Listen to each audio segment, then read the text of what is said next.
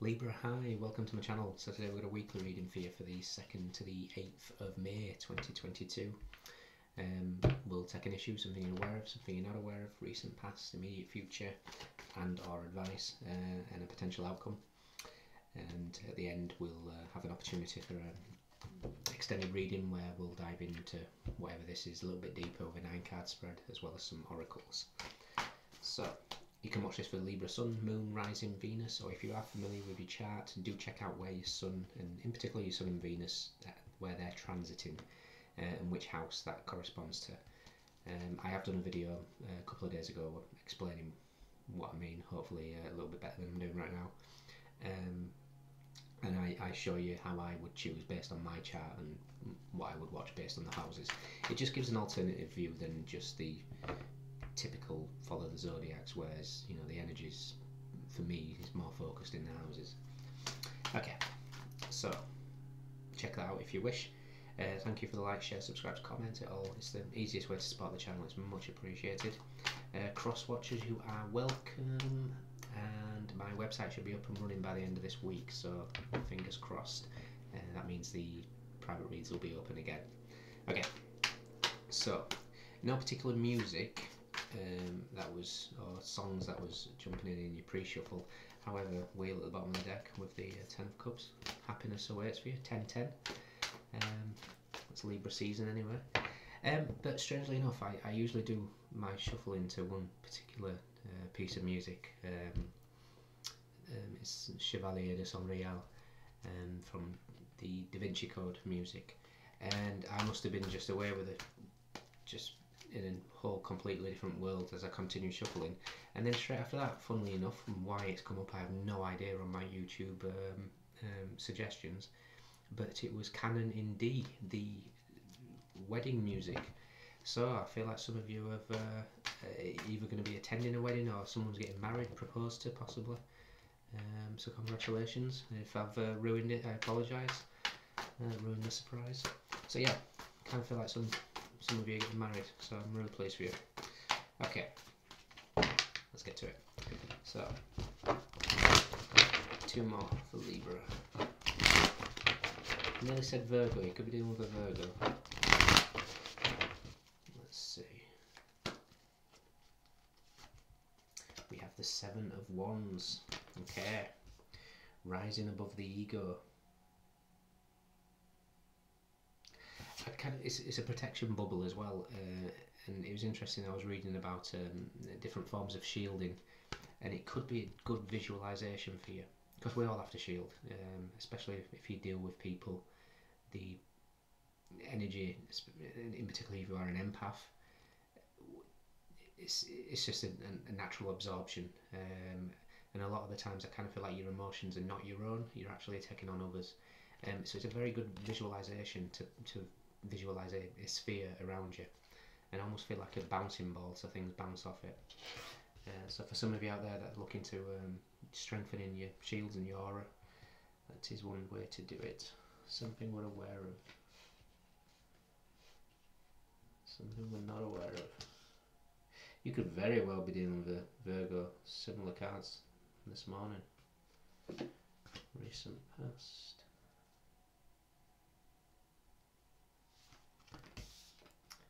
your advice, potential outcome. The Page of Wands, the King of Swords, the Fool, and the Knight of Wands.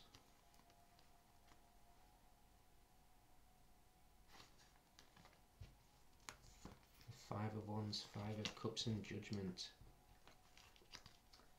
Okay, Judgment is next to the Eight of Swords as well, so if you do have any Leo placements, or if your Sun's currently in the fifth house, check out Leo's reading because there was something about judgment and then getting reflected back to him. There's a bit of shadow work to go on for them this week. Um, nothing to worry about. Just we all have judgmental moments.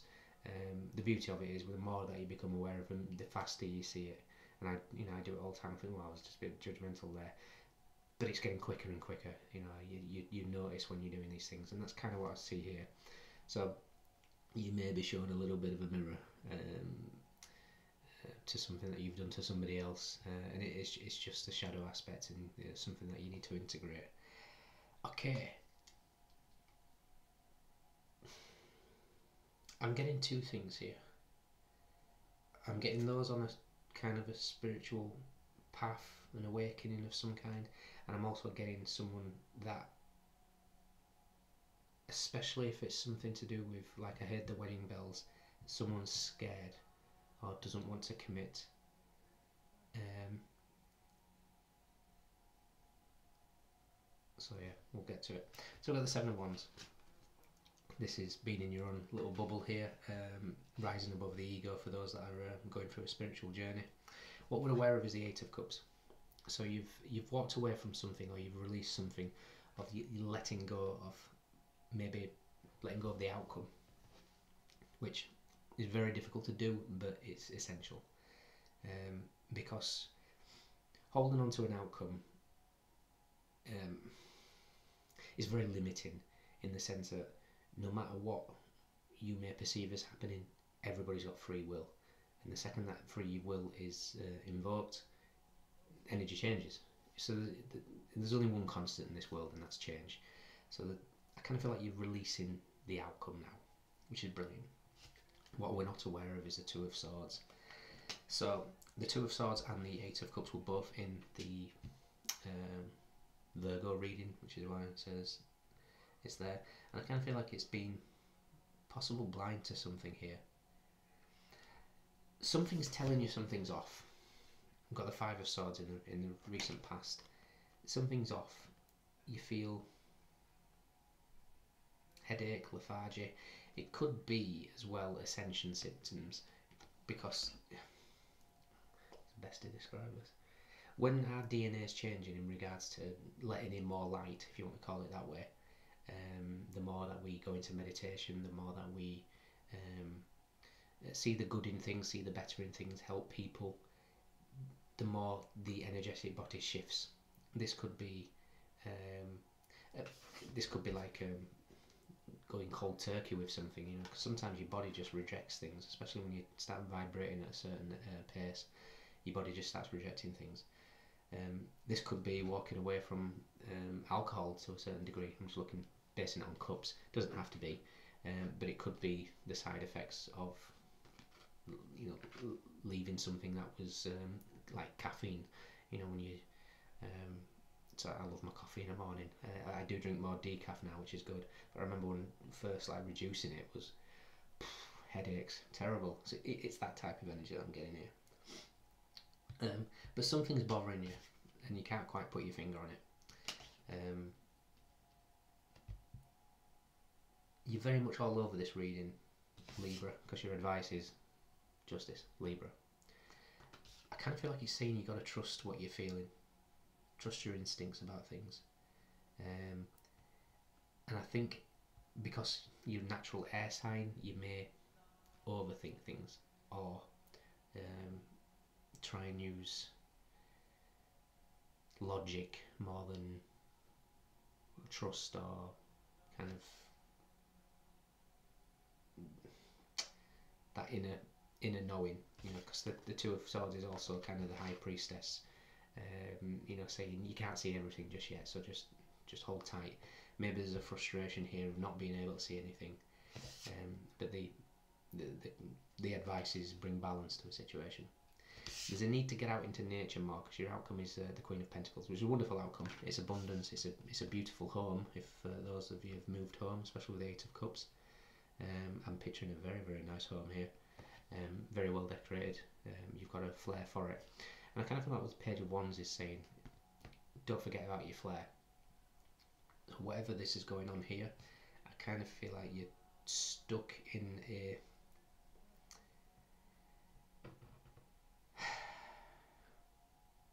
Okay, I'm hearing a song now. Um, it's Ocean Colour Scene. Hey, hey, hey, we don't want to fight no more.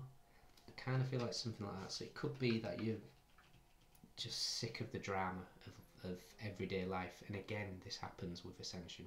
You kind of just like, you look how daft things are, how silly petty arguments are, and you kind of really remove yourself from these situations. I kind of feel that's what's going on here. Um, you're obviously seeking a higher knowledge with the King of Swords here. King of Swords in this deck. I, I love the King of Swords in this deck. It just and don't get caught up in genders. I'm just reading the card, but he oozes um, knowledge, wisdom, um, and just that perspective of seeing things from a greater, uh, higher perspective. Um, it's wonderful. So I kind of feel like you you're protecting your energy here. You're moving away from conflict and drama. There's some indecision. There's some worry about something that's niggling at you, and the the message is to trust your instincts here. In fact, we'll find the High Priestess. What does the High Priestess want to tell you?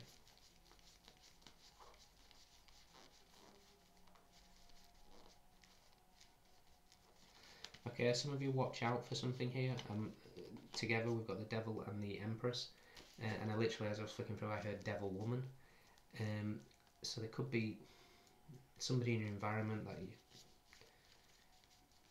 need to be wary of. Um,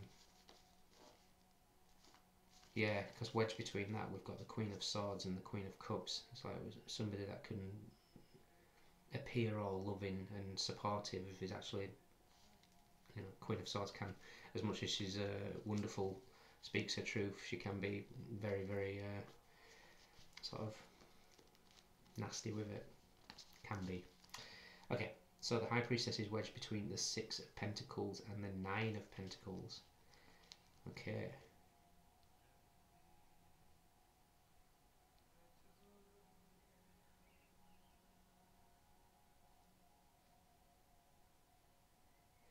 I'm getting years here, as in personal years.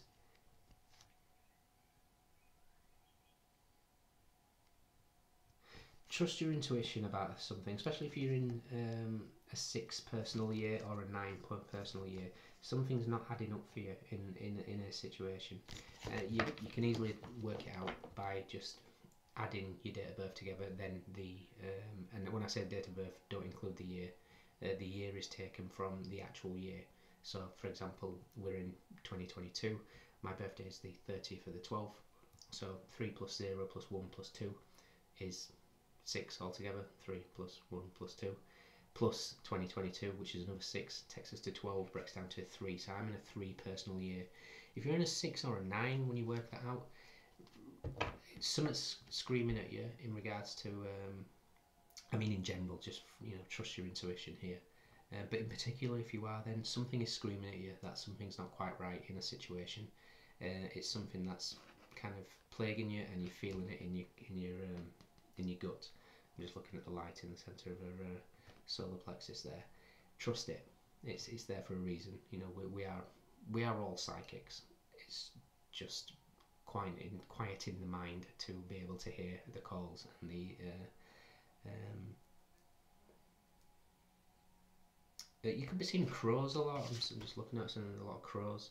The crows do tend to be protection, so don't worry if you see a lot of crows and you're panicking. Um, can be somebody psycho, psych, psychically checking in on you. Um, but yeah, overall, Libra, trust your intuition, bolster those energy uh, shields, and um, yeah, especially if it comes to if someone's telling you not to sign something. Uh, justice can be contracts. Um,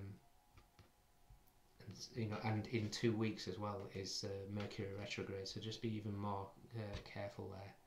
Because I kind of something's something's niggling at you, it's niggling at me now. Something's niggling at you, and you just need to trust your intuition. Okay. Right. Who do we have? We have you, Libra. We have Gemini Aquarius. We had Judgment as well, so Taurus, no, Taurus, not Taurus, not Judgment. Uh, Scorpio, Libra again. Um, oh, we did get Taurus, we got uh, the Empress, didn't we, and the Devil Woman, so Capricorn, Taurus, Libra again. This is all about you, you're turning up in so many different areas. We've got Pentacles, we've got Swords, we've got Wands, we've got Cups, everybody's here, but those are the standouts. So in the um, in the extended, we're going to dive into what's niggling you. We're going to do past, present, future, what the situation is. Your centre card is going to be the most important. It's going to be the the almost like the crossroads in which where things are going here. Uh, we'll look at your mind, body, soul, and we'll pick a couple of um, oracle cards. Okay, if you enjoy me, fantastic. If not, Libra, look after yourselves, and I'll see you next week.